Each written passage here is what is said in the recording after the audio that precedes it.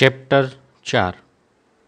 મૂંઝવનાર compounding Warren બફેટે eighty four point five billion ડોલરની સમૃદ્ધિમાંથી તેને eighty one point five billion dollar તેના પાસઠમાં વર્ષના જન્મદિવસ પછી મળ્યા.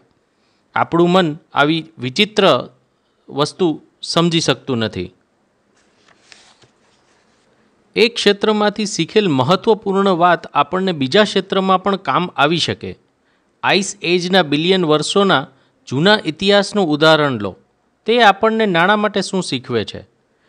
આપણું પૃથ્વી માટેનું વિજ્ઞાન તમે વિચારો છો, તેના કરતાં ઘણું નવું છે.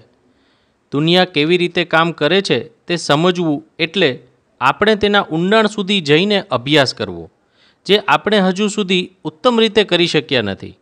આપણે પૃથ્વી વિશે અમુક મૂળભૂત વાતો શીખી તે પહેલાં જ આઇઝેક ન્યૂટને સો વર્ષ પહેલાં જ તારાની ગતિનો અભ્યાસ કરી લીધો હતો. ત્યાં સુધી ઓગણીસમી સદીમાં વૈજ્ઞાનિકોએ એ વાત નહોતી સ્વીકારી કે આપણી પૃથ્વીની આસપાસ બરફ જ છે. તેના વિરુદ્ધમાં દલીલ કરવા માટે ઘણા બધા પુરાવા હતા. દુનિયાના અનેક લોકોએ થીજેલી દુનિયામાં પોતાના સંકેત છોડ્યા હતા. કોઈ પણ જગ્યાએ પવન અને પાણીની ઘસાઈ ગયેલા મોટા પથ્થરો જોવા મળતા હતા. પાતાળ પણ નીચે મોટા પથ્થરો મળી આવ્યા હતા. પુરાવાઓ પરથી સાબિત થયું કે પૃથ્વી પર એક જ આઈસ એ જ નહીં, પણ પાંચ હતા, જેનું આપણે પ્રમાણ કાઢી શક્યા. આ પૃથ્વી બરફથી થીજી જાય. તે બરફ ફરીથી ઓગળી જાય અને ફરીથી આ પ્રક્રિયા ચાલુ થાય. તેના માટે કેટલી ઉર્જાની જરૂર હતી? શેના લીધે આ પૃથ્વી પર આવી સાયકલ ચાલતી હતી. આપણી પૃથ્વી પર સૌથી શક્તિશાળી ઊર્જા થકી જ આવું શક્ય બનતું હશે. અને તેવું જ હતું, પણ કોઈને આ બાબતની કલ્પના પણ ન હતી. આઈસ એજ પાછળ અનેક પ્રકારની થિયરી હતી.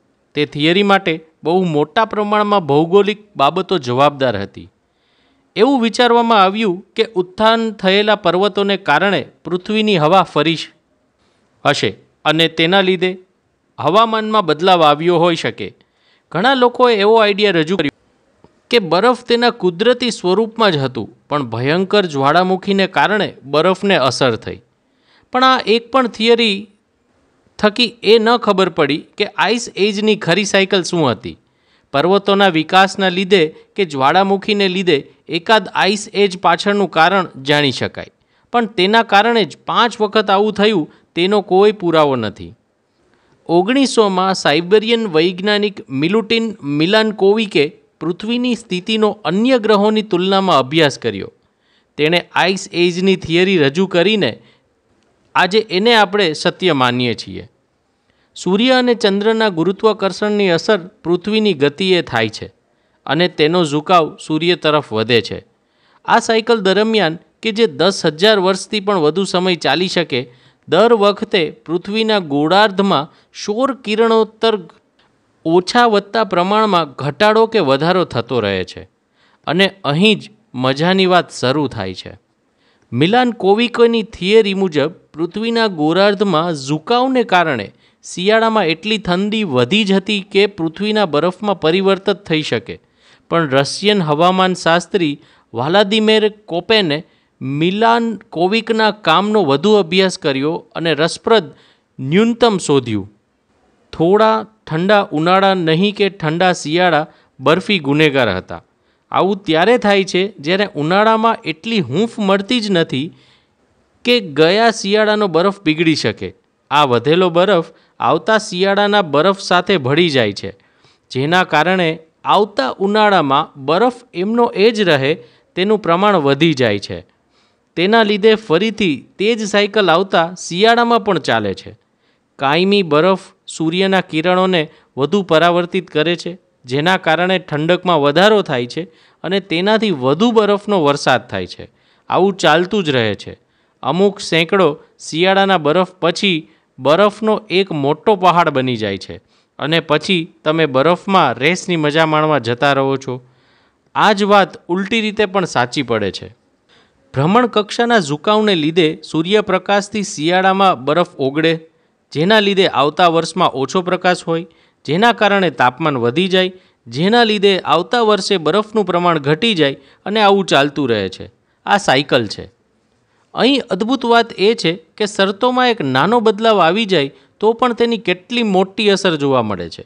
શરૂઆત થાય છે કે બરફના એક પાતળા પડથી અને પછી આંખ પલકતા ભૌગોલિક બદલાવોના કારણે આખી પૃથ્વી બરફથી ઢંકાઈ જાય છે. ગ્લેશિયર્સ ગ્લેબવેન સુઝોલ્ટના મતે કેટલા બરફને લીધે બરફની ચાદર બને છે તે મહત્ત્વનું નથી, પણ એ સત્ય મહત્ત્વનું છે કે બરફ ઓછો હોય કે વધુ આ પ્રક્રિયા ચાલુ રહે છે. જો કંઈક ભેગું કરવામાં આવે છે, તો નાનો એવો વિકાસ પણ ભવિષ્યના વિકાસ માટે ઈંધણનું કામ કરે છે. એક નાની એવી શરૂઆત પણ તમને અદ્ભુત પરિણામો આપી શકે છે. બની શકે તમારું તાર્કિક મગજ આ વાતને ગળે ન પણ ઉતારે. આ વાત એટલી તર્કથી વિરુદ્ધ છે કે શું શક્ય છે, ક્યાંથી વિકાસ થાય છે અને તે તમને ક્યાં લઈ જશે તેની કલ્પના કરવી અઘરી છે. આ જ વાત નાણાંમાં પણ લાગુ પડે છે. વોરન બફેટે તેની સમૃદ્ધિ કેવી રીતે ઊભી કરી તેના પર બે હજાર કરતાં વધુ પુસ્તકો લખાયા છે. તેમાંના ઘણા અદ્ભુત છે, પણ બહુ ઓછા પુસ્તકોમાં એક સરળ સત્ય પણ ધ્યાનમાં આપવામાં આવ્યું છે. બફેટે એટલે સમૃદ્ધિ નથી કરી કારણ કે તે સારા રોકાણકાર છે, પણ તે નાનપણથી સારા રોકાણકાર છે એટલે સમૃદ્ધ છે. હું જ્યારે આ લખું છું, ત્યારે વોરન બફેટની સમૃદ્ધિ eighty four point five billions dollars છે. તેમાંથી eighty four point two billion dollars તેણે પચાસમો જન્મદિવસ ઉજવ્યો ત્યારે મળ્યા હતા. Eighty one point five billion dollars તે સામાજિક સુરક્ષા માટે લાયક છે અને સાઠ વર્ષ વિતાવી દીધા પછી મળ્યા હતા. વોરન બફેટ ઉત્તમ રોકાણકાર છે. જ્યારે તમે તેની સફળતાની આખી મુસાફરીને એક સાથે જોશો, તો તમને સમજાશે કે તમે એક મહત્ત્વની ચાવી ભૂલી ગયા છો. તેની સફળતાની મહત્ત્વની ચાવી એ છે કે છેલ્લા ત્રીસ વર્ષથી ઉત્તમ રોકાણકાર છે. જો તેણે ત્રીસ વર્ષની ઉંમરે રોકાણ શરૂ કર્યું હોત અને સાઠ વર્ષે નિવૃત્તિ લઈ લીધી હોત, તો અમુક લોકો તેને ઓળખતા હોત. થોડું વિચારો સાથે પ્રયોગ કરો. બફેટ દસ વર્ષના હતા ત્યારથી જ તેને ગંભીર રોકાણ કરવાનું શરૂ કરી દીધું હતું. તે જ્યારે ત્રીસ વર્ષના થયા ત્યારે તેની કમાણી એક મિલિયન ડોલર અથવા ફુગાવાને ધ્યાનમાં લઈને nine point three million dollar હતી. પણ જો તે બાકીના સામાન્ય લોકો જેવા હોત, તો તેને તેની યુવાની અને કિશોરસ્થાના સમયમાં તેના જીવનનું પેન્શન શોધવામાં વિતાવ્યો હોત. તેની ત્રીસ વર્ષ કમાણી કેટલી પચીસ હજાર ડોલર હોત? હવે એવું માની લઈએ કે તેને રોકાણમાંથી દર વર્ષે અદ્ભુત વળતર મેળવ્યું હતું. જેમ કે દર વર્ષે બાવીસ ટકા, પણ જો તેણે રોકાણ છોડી દીધું હોત અને સાઠ વર્ષે નિવૃત્તિ લીધી હોત અને ગોલ્ફ રમવા જતા હોત, તેમજ તેના છોકરાઓના છોકરા સાથે સમય વિતાવતા હોત તો? તો આજે તેની અંદાજે કમાણી કેટલી હોત? Eighty four point five billion dollars તો ન જ હોત. Eleven point nine million dollar હોત.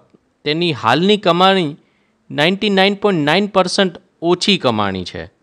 તેથી બફેટની નાણાકીય સફળતાનો શ્રેય તેના નાણાકીય મૂળને આપી શકાય, કે જેમાં તેણે શરૂઆત નાની ઉંમરે કરી અને તેના નિવૃત્તિ સમયમાં પણ રોકાણ કરવાનું ચાલુ જ રાખ્યું. તેની આવડત રોકાણ છે, પણ તેનું રહસ્ય સમય છે. આ વાતને બીજી રીતે વિચારો. બફેટ અત્યાર સુધી સૌથી ધનવાન રોકાણકાર છે, પણ તે હકીકતમાં મહાન નથી. ખાસ કરીને જ્યારે તેની કમાણીને સરેરાશ વર્ષે મળતી કમાણીના દૃષ્ટિકોણથી જોવામાં આવે. Jim Simons hedge fund Renaissance ટેકનોલોજીના હેડ હતા. તેણે ઓગણીસો ને ઇઠ્યાસીથી દર વર્ષે છાસઠ ટકા નાણાં ભેગા કર્યા છે. કોઈ વ્યક્તિ આટલા લેવલે ન પહોંચી શકે. આપણે હમણાં જ જેમ જોયું, બફેટે અંદાજે દર વર્ષે બાવીસ ટકા જેટલું વળતર મેળવ્યું છે, જે જીમ કરતાં ત્રીજા ભાગનું થયું. હું આ જ્યારે લખું છું, ત્યારે જીમની કમાણી એકવીસ બિલિયન ડોલર્સ છે. તમને આ વાંચતી વખતે આશ્ચર્ય થશે, પણ તેની બફેટ કરતાં કમાણી પંચોતેર ટકા ઓછી છે. જો જીમ એટલા જ સારા રોકાણકાર હોત, તો આવો તફાવત શા માટે? કારણ કે જીમ પચાસ વર્ષના ન હતા થયા, ત્યાં સુધી તેમણે રોકાણમાં નહોતું ઝંપલાવ્યું. તેણે બફેટ કરતાં અડધાથી પણ ઓછો સમય રોકાણમાં નાખીને નાણાં ભેગા કર્યા છે. બફેટ તેની સમૃદ્ધિ સિત્તેર વર્ષમાં ઊભી કરી હતી. જો જીમે સિત્તેર વર્ષ માટે દર વર્ષે છાસઠ ટકા વળતર મેળવ્યું હોત, તો તમારા શ્વાસ થંભાવીને આગળ વાંચજો.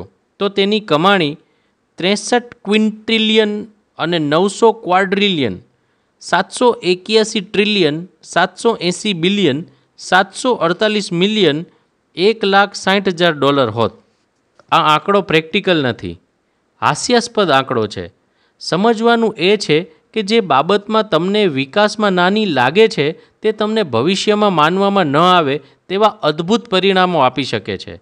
તેથી આપણે જ્યારે પણ એવો અભ્યાસ કરીએ છીએ કે શા માટે કોઈ વ્યક્તિ પાસે અત્યંત સત્તા આવી ગઈ, શા માટે આઈસ એજ અસ્તિત્વમાં આવ્યા અથવા શા માટે વોરન બફેટ આટલા બધા ધનવાન છે, ત્યારે આપણે સફળતા પાછળના અનેક પરિબળોને અવગણી દેતા હોઈએ છીએ. મેં એવા ઘણા લોકોને વાત કરતાં સાંભળ્યા છે કે જ્યારે તેઓએ પહેલી વખત કમ્પાઉન્ડેડ ઇન્ટરેસ્ટ ટેબલ જોયું અને તેઓને ખબર પડી કે જો તેઓએ તેની વીસ કે ત્રીસ વર્ષની ઉંમરે બચત કરવાનું શરૂ કરી દે, તો તેઓએ નિવૃત્તિના સમયે કેટલા નાણાં મળે? આ વાત અને ગણિતથી તેઓનું જીવન જ બદલાઈ ગયું હોત. પણ તેવું દરેક વખતે થતું નથી. તેઓને આશ્ચર્ય થયું પણ તેઓને પરિણામ સાચું લાગ્યું નહીં. સીધી દિશામાં કરવામાં આવતી વિચારસરણીમાં અત્યંત આત્માના અવાજને ઝડપી વિચારસરણી કરતાં વધુ મહત્ત્વ આપવામાં આવે છે. જો હું તમને આઠ પ્લસ આઠ પ્લસ આઠ પ્લસ આઠ પ્લસ આઠ પ્લસની આઠ ગણતરી તમારા મગજમાં કરવાનું કહું, તો તમને તરત કહી દેશો કે આનો જવાબ બોતેર છે. પણ જો હું તમને આઠ ગુણ્યા આઠ ગુણ્યા આઠ ગુણ્યા આઠ ગુણ્યા આઠ ગુણ્યા આઠ ગુણ્યા આઠની ગણતરી કરવામાં કહું તો તમારું મગજ ભમી જશે. જવાબ છે તેર કરોડ બેતાલીસ લાખ સત્તર હજાર સાતસો ને અઠ્યાવીસ. ઓગણીસો પચાસમાં આઈબીએમે થ્રી પોઈન્ટ ફાઇવ મેગાબાઇટની હાઈ ડ્રાઈવ બનાવી હતી. ઓગણીસો સાહીઠ સુધીમાં તો આ મેગાબાઇટનો આંકડો વધવા લાગ્યો હતો. ઓગણીસો સિત્તેરમાં આઈબીએમ વેન્ચરેસ્ટ ડ્રાઈવ સિત્તેર મેગાબાઇટની હતી, પણ ડ્રાઈવની સાઇઝ ઘટતી ગઈ અને સ્ટોરેજ વધતું ગયું. ઓગણીસો નેવુંમાં સમયના એક પરંપરાગત પીસીમાં બસોથી પાંચસો મેગાબાઇટની જગ્યા આવતી અને પછી વેમ બદલાતું ગયું. ઓગણીસો નવ્વાણુંમાં એપલે આઈમેક બહાર પાડ્યું, જેમાં છ ગીગાબાઇટની હાઈડ્રાઈવ હતી. બે હજાર ત્રણમાં પાવર મેકમાં એકસો વીસ ગીગાબાઇટની હાઈડ્રાઈવ હતી. બે હજાર છમાં નવા આઈમેકમાં બસો પચાસ ગીગાબાઇટની ડ્રાઈવ હતી. બે હજાર અગિયારમાં સૌથી પહેલી ચાર ટેરાબાઇટની ડ્રાઈવ હતી. બે હજાર સત્તરમાં સાઠ ટેરાબાઇટની ડ્રાઈવ આવી અને બે હજાર ઓગણીસમાં સો ટેરાબાઇટની ડ્રાઈવ આવી. આ બધાને ભેગું કરો. ઓગણીસો પચાસથી ઓગણીસો નેવુંમાં આપણે બસો છન્નું મેગાબાઇટ મેળવી. ઓગણીસો નેવુંથી આજ સુધીમાં આપણે સો મિલિયન મેગાબાઇટ મેળવી. જો તમે ઓગણીસો પચાસના સમયમાં ટેકનોલોજી ક્ષેત્રે આશાવાદી વ્યક્તિ હશો, તો તમે કલ્પના કરી હશે કે ભવિષ્યમાં હજાર ગણી મોટી માત્રામાં સ્ટોરેજ જોઈ શકશે. કદાચ દસ હજાર ગણું વધારે. જો તમે હજુ વધુ વિચારતા હો, તો. ઘણા લોકોએ કહ્યું કે મારા જીવનકાળ દરમિયાન ત્રીસ મિલિયન ગણ્યાથી વધુ સ્ટોરેજ જોઈશે. એવું જ કંઈક થયું. કમ્પાઉન્ડિંગના વિરોધી સ્વભાવના લીધે ઘણા ચતુર લોકો પણ ઘણીવાર તેની શક્તિને અવગણી નાખે છે. બે હજાર ચારમાં બિલ ગેટ્સે નવા જીમેલની ટીકા કરી હતી. એવું વિચારીને કે કોઈ વ્યક્તિને શા માટે ગીગાબાઇટ સ્ટોરેજની જરૂર પડે. લેખક સ્ટીવન લેવીએ લખ્યું હતું, તેની કમાણી ભલે ટેકનોલોજીમાંથી થતી હોય, પણ તેની માનસિકતા જૂના જમાનાની હતી. તેમાં સ્ટોરેજને એવી બાબત માનવામાં આવતી કે તેનો સંગ્રહ કરવો જોઈએ. તમને એ સમજતા વાર લાગશે કે બાબતો અને ઇનોવેશનમાં કેટલી જલ્દી વિકાસ થાય છે. અહીં ખતરનાક વાત એ છે કે જ્યારે આપણે કમ્પાઉન્ડિંગ વિશે અંતરાત્માથી નથી વિચારતા, ત્યારે આપણને તેની શક્યતાઓને અવગણીને સમસ્યાનું નિવારણ લાવવા માટે બીજા રસ્તાઓ શોધીએ છીએ. તેનું કારણ આપણા વધુ પડતું વિચારવું નથી પણ આપણે કમ્પાઉન્ડિંગ શક્યતાઓને ધ્યાનમાં નથી લીધી એ છે. આ બે હજાર પુસ્તકોમાંની એક પુસ્તકનું મથાળું આ વ્યક્તિ છેલ્લા ત્રીસ વર્ષથી સતત રોકાણ કરી રહ્યો છે તેવું ન હતું, જે ખરેખર વોરન બફેટની સફળતાની ચાવી હતી. આપણે પણ આ વાત જાણીએ છીએ, પણ આપણને આ ગણિત પચાવવું અઘરું પડે છે, કારણ કે આપણું આંતરમન તે વાત સ્વીકારતું નથી. અર્થતંત્રની સાયકલ ટ્રેડિંગ સ્ટ્રેટર્જીઝ અને સેક્ટર બેટ્સ પર પુસ્તકો લખાયેલા છે. પણ સૌથી શક્તિશાળી અને મહત્ત્વનું પુસ્તક જોઈએ. ચૂપ થઈ જાઓ અને રાહ જુઓ. આ એક જ પાનું છે, જેમાં લાંબા ગાળાનો અર્થતંત્રનો વિકાસનો ચાર્ટ દોરેલો છે. અહીં વાસ્તવિકતામાં એ સમજવાનું છે કે આપણે ટ્રેડમાં નુકસાની થાય છે, ખરાબ સ્ટ્રેટર્જી અમલમાં મુકાય છે, સફળ રોકાણો પ્રત્યે નથી થતા તેની પાછળ કમ્પાઉન્ડિંગનો વિરોધાભાસ જવાબદાર છે. તમે લોકોને એ વાતનો દોષ ન આપી શકો કે તેઓ તેના બધા જ પ્રયત્નો એ બાબતમાં લગાડે છે જે તેઓ શીખ્યા છે, જે તેઓ કરે છે અને રોકાણમાંથી ઉત્તમ વળતર મેળવવાનો પ્રયત્ન કરે છે. કારણ કે આંતરમનથી તેઓને ધનવાન બનવાનો આ જ રસ્તો સાચો લાગતો હશે. પણ સારું રોકાણ તેને જ કહેવાય જેમાં સૌથી વધુ વળતર મળતું હોય. કારણ કે વધુમાં વધુ વળતર ક્યારેક મળે છે. વારંવાર નહીં. અહીં એવું વળતર મેળવવા શીખવાનું છે જે લાંબા સમય સુધી સતત તમને મળતું રહે. આવું કમ્પાઉન્ડિંગમાં જ શક્ય બને છે. તેનાથી વિરુદ્ધ વાત બહુ વધુ વળતર મળે કે જેને તમે સાચવી ન શકો તો અત્યંત દુઃખદ ઘટનાઓ પણનો સામનો કરવો પડે છે. તે વાત સમજવા માટે ચાલો હવે પછીનું પ્રકરણ વાંચીએ છીએ.